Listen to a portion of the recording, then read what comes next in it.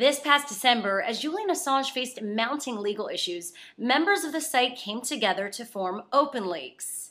While information surrounding its launch has been quite vague, one of its co founders and a former WikiLeaks employee, Daniel Domscheit-Berg, did describe the platform at a recent conference. So, what do we do? Um, we provide these three steps. We provide knowledge, we provide means and methods for submissions, and we provide a cleaning environment for that information that comes in. So, is OpenLeaks the new WikiLeaks of 2011? To find out more, I spoke to one of its 12 current members in Iceland, Herbert Snorrason. How is it really planning on being different than WikiLeaks? The main visible difference between OpenLeaks and WikiLeaks is that OpenLeaks does not intend to publish documents directly, but to well, neither to publish nor receive documents directly, but instead to provide third parties with the ability to receive documents anonymously. The problem with WikiLeaks is that it tries to do too many things. So WikiLeaks tries to handle everything from the receipt of the document to the publication. And this means that WikiLeaks has, in a sense, a centralized spot where it takes on an awful lot of work an awful lot of responsibility and an awful lot of power. And our aim is to disperse all of those. I personally left WikiLeaks after Julian said to me uh, a quote that has actually been published in a number of places where he said, I am the heart and soul of this organization, and ended with, If you have a problem with me, you can piss off.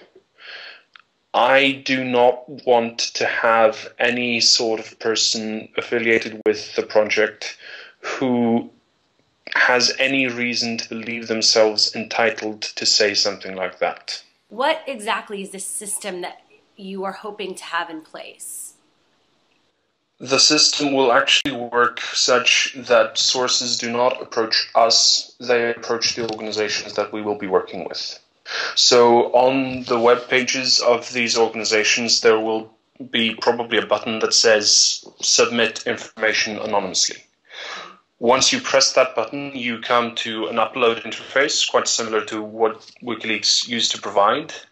And any information that is published through that specific interface goes through the organization that it's associated with. So the decision of which organization first gets access to the material is made by the source, not OpenLeaks. And so, what is your place in all of this? Are you just simply creating a tech platform? Essentially, yes. We are only creating and maintaining a technological service that gets documents or information from sources to organizations that have a reason to work with anonymous material. But couldn't people just submit these things and approach these organizations directly? Why would they need OpenLeaks? We have certain expertise that comes from working in this field for a while.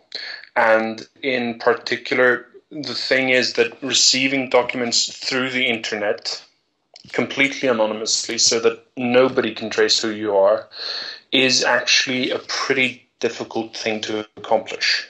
Most digital documents provide what is called metadata. That is, it's information about the document itself. Mm-hmm. So that's information like who wrote this, for which organization, and all that sort of stuff. Microsoft Word, for instance, embeds information on the author and the organization of the author in pretty much every document that it produces what we aim to do is to strip that identifying information out of the files before the media or the recipient has a look at it. Because in many cases that sort of information could compromise the source. And this can be done more or less automatically.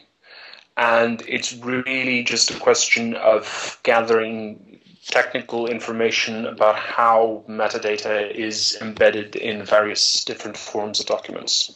What, what needs to be understood is that what's going on is a movement that is considerably larger than what you see on the surface. It, it's like a hydra. You cut one head off, and two new ones appear. And that really is the case with what's going on here. I want information to be generally available. I don't believe that organizations such as governments and corporations have an unlimited right to secrecy. And if we are successful, their ability to keep secrets will be severely constrained. Herbert told me that OpenLeaks plans to test out this new system with five organizations in the next two months and then ramp up to 100 organizations by mid year. For CBSNews.com, I'm Shira Lazar.